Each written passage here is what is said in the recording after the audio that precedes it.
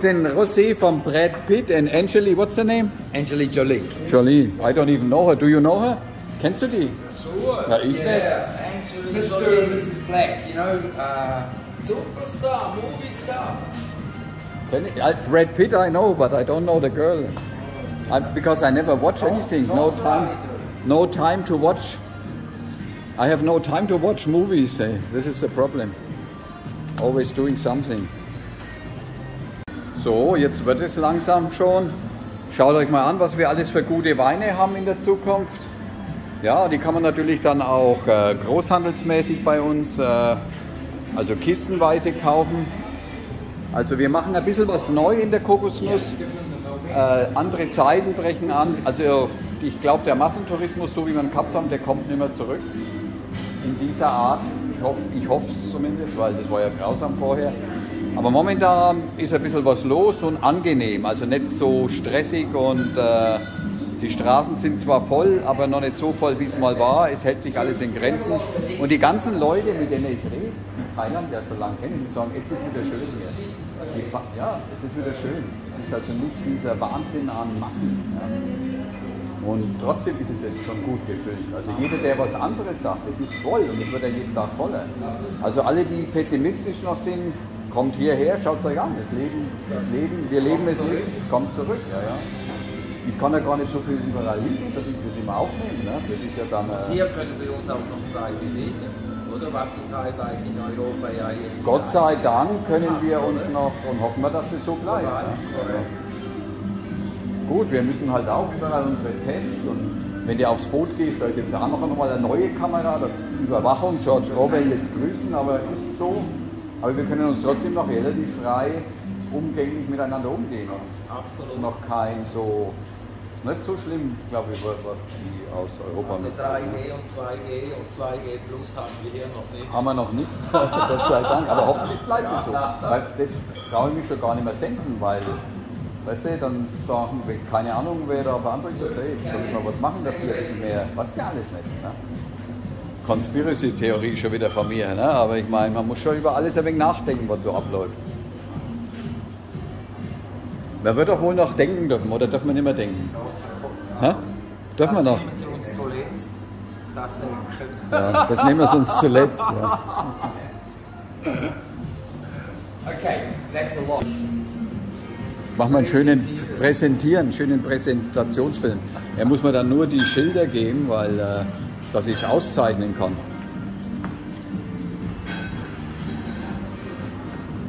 Da macht er ja anscheinend. Ja. Das ist jetzt aber nicht für mich, oder? Das ist ja nicht für mich hier. Uhu und äh, Uhu und was bin ich? Adler, keine Ahnung, on Tour. Und äh, weißt du, so macht man Geschäfte. Ne? Ohne Unterschrift, Vertrauen halt. Ne? Ich meine, ich, ich hoffe, dass das alles richtig aufgeschrieben hat. Ich habe gar nichts kontrolliert. Aber ich tue das jetzt alles einmachen, dann mache ich Fotos und dann schicke ich ihm das. Schau mal her, ich habe das nochmal gemacht. Das ist es, weil da kann natürlich schon Fehler passiert sein. Das ist ja Absolut. Wahnsinn, ne? wie wir das jetzt gerade gemacht haben. Aber Aber du kannst es ja jetzt noch nachkontrollieren. nachkontrollieren und ich mache Fotos dann und dann sieht er ja, was ich, was er habe. Und das sind halt da, weißt du, das sind, so, ma- so macht man Geschäfte, man vertraut sich halt. Jetzt normalerweise, wenn bei, wenn alles normal läuft, bescheiße ich den ja nicht. Ja? Wenn jetzt natürlich äh, ein Tsunami kommt, dann haben wir halt Pech gehabt. Ja? Oder wenn ich morgen einen Herzinfarkt kriege, dann ist es halt so.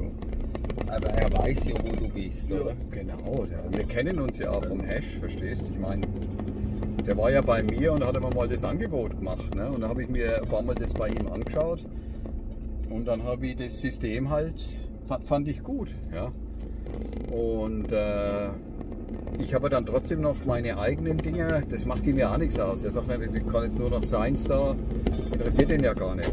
Und für mich ist es interessant, ich habe jetzt einfach ein- eine größere Auswahl und die Leute können es halt auch äh, kaufen für daheim. Ne? Also eben, eigentlich können sie ja bei dir zuerst das probieren. Und wenn Genau. es ihnen schmeckt, Dann dann, können können sie sie kaufen. die Flasche kaufen. Und dann kann ich bei ihm bestellen, so ich will zwei Kisten, drei Kisten. Letztens hat er schon mal der Gast, dem habe ich erzählt, dass wir das machen, das ist gut. Und ob, ich, ob, wir, dann, ob wir dann liefern, klar, zwei, drei Kisten liefern wir freilich, ist ja kein Problem. Und ich mache jetzt bei den ganzen Weinen hin, wenn da halt welcher mir die Flasche 500, ich will ein bisschen anders das System machen, wenn, der, wenn die Flasche 1000 Watt kostet und einer will da nur ein Glas, dann verlange ich halt 600 fürs Glas oder 700 oder so, dann nimm die Flasche. Weil ich mache die Flasche auf für dich, aber da kostet so viel, weil ich weiß ja gar nicht, ob die einer trinkt, wenn das dann da rumsteht. Ne? Und, äh, aber die meisten nehmen ja dann die Flasche auf. Ne? Und die Weine, die ich jetzt bei ihm alle probiert habe, die waren alle gut. Man, ist lang genug in dem Geschäft, der weiß, was er macht. Schau mal, Ja. da ist auch ganz schön was los da drüben. Ne? Also man merkt schon, dass äh, Also, was geht. ja, ja, ganz klar. Ganz klar. Ich mache mal, aber Mensch. Air Condition würde ja helfen, dass er wenig kühler wird. Ja, aber ich denke, du hast hier die Heizung Ja. angestellt. Schau mal her, ich zeige euch einmal, was da los ist. Die Schau mal, Heizung läuft. die Heizung läuft. Da drüben, also überall wieder Leute. Wir sind gerade in der Boat Avenue. Also es geht voran. Also jeder Pessimist, der sagt, äh, schaut euch mal, was da an Verkehr ist. Ganz Phuket hat ja zugenommen, wie verrückt im Verkehr gerade. Ich sage eigentlich jetzt, jeder, der hierher kommt, der kann sich ja glücklich schätzen, weil er ja hier wirklich die gewisse Freiheit ja hat. Klar sind die Lokalitäten vielleicht um 11 Uhr abends geschlossen. Aber das ist ja für uns alte Säcke gerade richtig, weil da kann man wenigstens schlafen. Ja gut, ne? okay. das ist die andere Seite. Aber was ich das damit sagen möchte, ist ja wirklich, du kannst ja hier wirklich noch in alle Lokalitäten gehen, ohne irgendwie eine, ein Zertifikat vorweisen zu müssen oder du musst irgendwie belegen, ich bin geimpft, was ja jetzt zum Beispiel in Europa wieder ganz anders der Fall ist, oder? Hier haben wir ja wirklich noch die Freiheit. Ja, hoffen wir, oder? dass das so bleibt. Ne? Das Und da muss ich auch, wieder ja. sagen, ich meine, wenn man jetzt sowas äh, sendet, dann musst du schon wieder Angst haben, ja, dass dann die Neider so groß werden, dass dann irgendwie Druck von irgendwo herkommt, ja, dass die hier wieder anziehen. Das, das ist mir damals schon vorgekommen, wie wir, wie wir noch so frei gelebt haben vor der zweiten Welle. Da gingen wir ja in die Bars und alles war schön, weißt du, Mädels, Halligalli, alle praktisch ohne Maske mehr oder weniger und auf einmal kam die zweite Welle. Und da habe ich mir damals schon immer gedacht, weil ich habe danach so meine Videos gemacht und ich war ja nicht der Einzige, ja, hoffentlich geht es gut, weil wenn die ganze Welt sieht, hoppla, denen geht es ja viel zu gut dort. Weißt du? Das will ja gar keiner, weil dir geht es ja schlechter, willst ja du, dass es den anderen auch schlecht geht. Und dann sagt er, ja, siehst du, jetzt hat es ja doch erwischt. Weil Schadenfreude ist ja bei vielen leider dann die, die größte Freude. Ne? Absolut. Und das ist das Traurige. Und wenn wir uns so leicht über die Schadenfreude manipulieren lassen, da haben wir keine Chance, weil dann ist es einfach, ah, schau, jetzt hat es sich auch erwischt, schön. ne? Absolut. Ja, ja.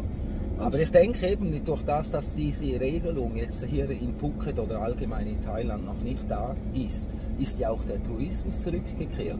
Ich bin der Meinung, würden Sie jetzt den Schraubstock wieder anziehen und gewisse Regeln kopieren, die in Europa stattfinden, würde hier der Tourismus wieder einbrechen. Weil dann würden die Leute sagen, für was soll ich jetzt nach Thailand gehen, wenn ich eigentlich die gleichen Spielregeln habe wie in Deutschland. Weißt du, wie ich meine, oder? Ja, jetzt ja. kann er ja hier von, von einem Restaurant zum anderen Restaurant gehen, ohne irgendwas vorweisen zu Ja, müssen. wir sind noch oder? frei, ja, Genau, ja. das meine ich, oder? Auch wenn wir jetzt alle geimpft sind, so wie du ja auch, ne? aber wir haben ja trotzdem noch die Freiheit, dass nicht jeder Hirni uns da laufen nach irgendwelchen äh, Papieren Dann- oder Zertifikaten ja, genau. oder nach dem Test fragt, ja, nach der Impfung fragt. Ja, das ist so. In Deutschland ist ja, glaube ich, egal wo du hingehst, musst, du- musst du das alles immer. Also, und jetzt hat ja noch neu, seit neuestem Jahr dann noch mit dem Booster. Wenn du nicht geboostert bist, bist du ja wieder ungeimpft. ist ja alles verrückt. Ja. Also, das ist schon ein bisschen äh, bedenklich, würde ich mal sagen, das Ganze. Ne? Gut. Wir haben ja jetzt noch den großen Vorteil, wir haben jetzt das Auto voll mit Alkohol, uns kann gar nichts mehr Ja, passieren. wir, wir, Ja? Und haben noch nicht einmal was bezahlt dafür. Das ist doch geil. Ja? Ja? Nee. Aber, Aber, eben die guten Geschäfte, die basieren ja sehr oft auf Vertrauen, oder? Also eben, wenn du, wenn du das, wenn das Vertrauen da ist, dann kannst du ja solche Deals abschließen, oder? Dass du da Ware bekommst auf Kommission weil ja eben ein gewisses Vertrauen Genau, da ist. Und ja, das muss ja auch sein, wenn du miteinander ein bisschen geschäftlich aktiv sein möchtest. Oder? Ich habe ja keine Intention, den da zu bescheißen. Warum soll ich das machen? Ich bin ja Absolut. froh, wenn ihr einen guten Partner habt. Darum Absolut, geht's ja. absolut. Und ich sehe ja das, ich hatte das ja früher in der Schweiz auch mit meinen Getränkelieferanten, oder? Die haben mich gratis, also beliefert und da war nie das Thema, irgendwo eine Anzahlung zu leisten. Mhm. Da wurde mir der, die Kühlzelle bis oben hin voll gefüllt. mit Ja, weil die Bieren. wussten, dass du zahlst. Genau, Wie korrekt. ich früher da. Und denkt dran, drückt bitte unsere Glocke, lasst ein Like da und abonniert unsere Glocke, unseren Kanal. Ich bin verwirrt.